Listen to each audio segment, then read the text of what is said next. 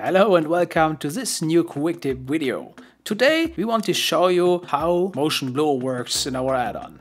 Motion Blur is what gives your animation a touch of cinematic feel and is therefore indispensable.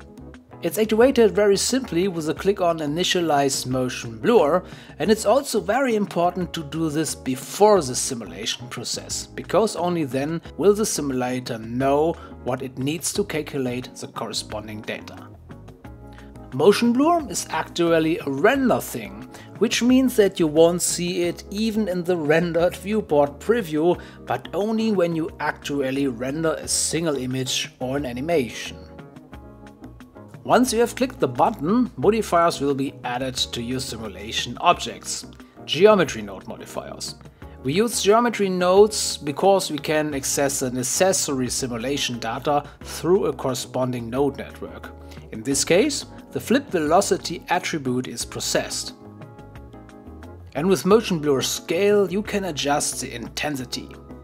Motion Blur works for both the fluid surface and all types of white water. And Motion Blur can also be turned on or off for individual components or adjusted to different intensities. However, it looks best when all objects in the scene have the same level of motion blur. This also applies to non-flip fluid objects. In the render settings, you will also find a field for motion blur, which should be considered global motion blur. The value set here affects all objects, whether flip fluids or not. And another important thing is your flip fluids world, because the size of your world has a significant influence on how the motion blur scaling turns out. The reason is that motion vectors in the simulator are naturally also based on the size of the simulation world.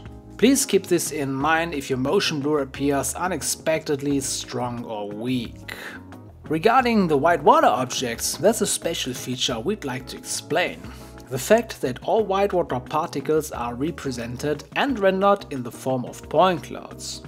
The corresponding geometry nodes network converts each whitewater object in your scene into points.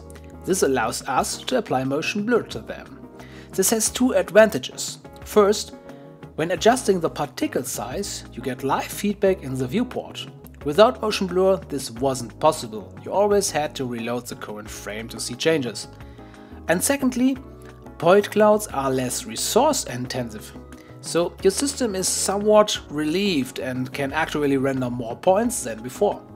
What might be a bit confusing in the moment is that you have to adjust the scaling and the material for your whitewater objects in the modifier panel.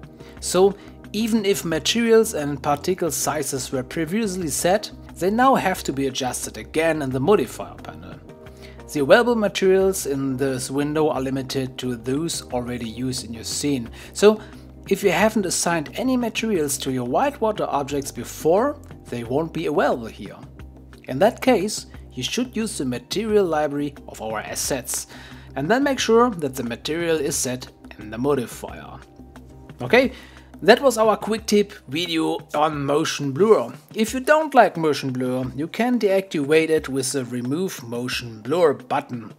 And if you like this video, please give us a thumbs up. Thank you for watching, see you soon.